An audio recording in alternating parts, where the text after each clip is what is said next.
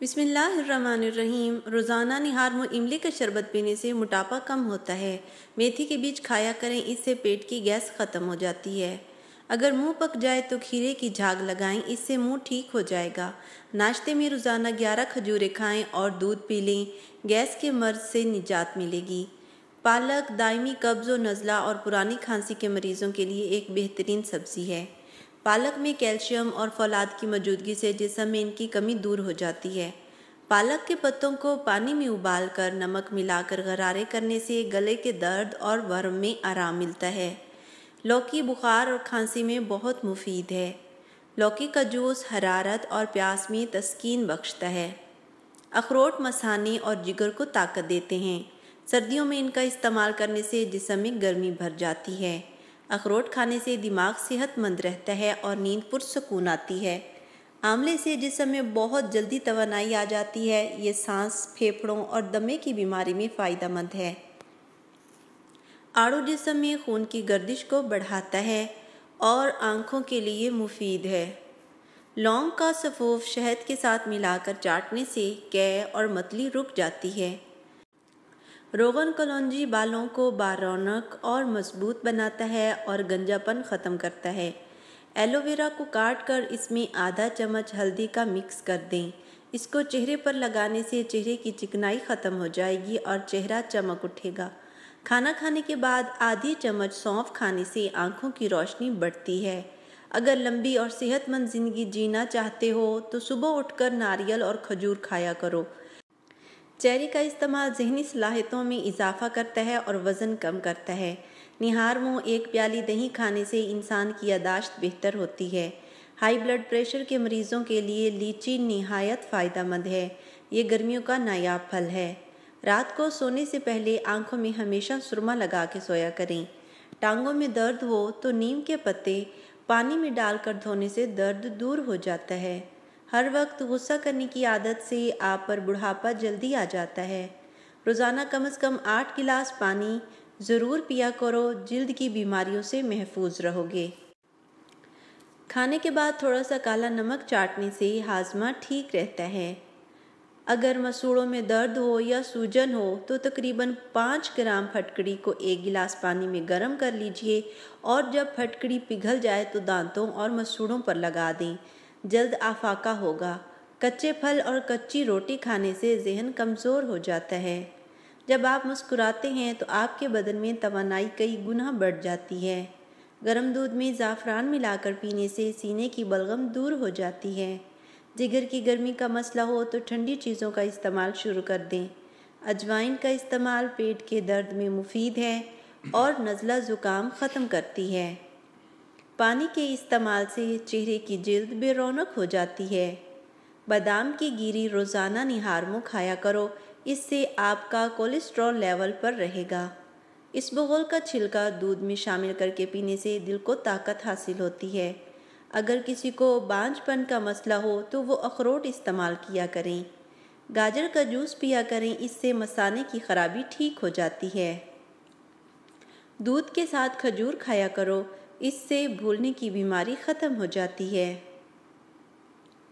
दोपहर को खाने में कच्ची प्याज ज़रूर खाया करें। इससे दिल की धड़कन बेहतर काम करती है। कनपट्टी पर खशखास का तेल मलने से नींद जल्दी आ जाती है। अगर नींद ना आती हो तो सर की मालिश करना बहुत मुफीद है। मालिश करने के बाद सुकून महसूस होगा और नींद आ जाएगी। अगर आपको बेख्वाबी की शिकायत हो तो चाय और कॉफ़ी का इस्तेमाल कम कर दें।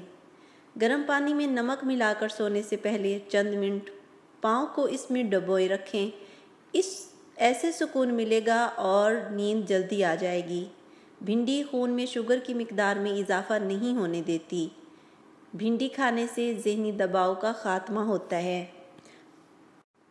ब्लैकबेरी जल्द के लिए बहुत फ़ायदा मंद है। इसके अलावा कब्ज़ से निजात मिलती है। गुर्दे की पथरी के लिए एक गिलास पानी में एक चम्मच पिसा हुआ ज़ीरा और एक लीमू का रस शामिल करें और पी लें।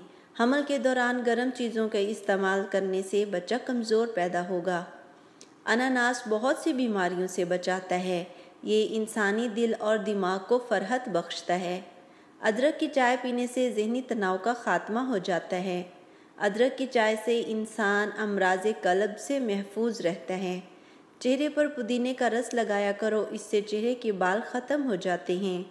माल्टा जिसमें बीमारी के खिलाफ दिफाई निज़ाम को बेहतर बनाता है। जापानी फल में विटामिन ए और सी पाया जाता है ये वज़न को कम करता है। जापानी फल दिल को सेहत बख्शता है और कैंसर से बचाता है।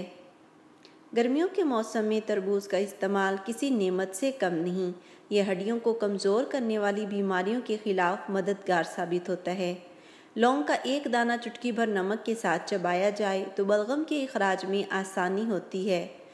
मोटापा दूर करने के लिए शहद और गर्म पानी मिलाकर पीने से जिसम की बढ़ती हुई चर्बी कम हो जाती है। नमक और शहद से दांत साफ़ कीजिए, दांत चमक उठेंगे। अगर आप कमर की चौड़ाई कम करने में संजीदा हैं तो ज़्यादा पानी पीना भी इसका एक बेहतरीन टोटका है। एक चम्मच शहद में लीमू मिक्स करके होंठों पर लगाएँ। होंठ गुलाबी हो जाएँगे। केला खुश्क खांसी और गले की खराश को दूर करता है। खून की कमी और वज़न बढ़ाने के लिए आजमुदा नुस्खा। जिस शख्स में खून की कमी हो या जिस्मानी कमज़ोरी हो या वज़न ना बढ़ता हो तो उस शख्स को चाहिए कि रोज़ाना 30 से 50 ग्राम मुनक्का खाकर ऊपर से नीम गर्म दूध पी ले। इन खून की कमी ख़त्म हो जाएगी और वज़न भी बढ़ जाएगा। मोशन और दस्तों की सूरत में केले के इस्तेमाल से आफाका होता है। केले में विटामिन सी बकसरत पाया जाता है, इसलिए ये दांतों की बीमारियों में बहुत मुफीद है। नारियल का पानी इंसानी जिसम के लिए बहुत फ़ायदा मंद साबित होता है। ये प्यास को बुझाता है, सीने की जलन को दूर करता है।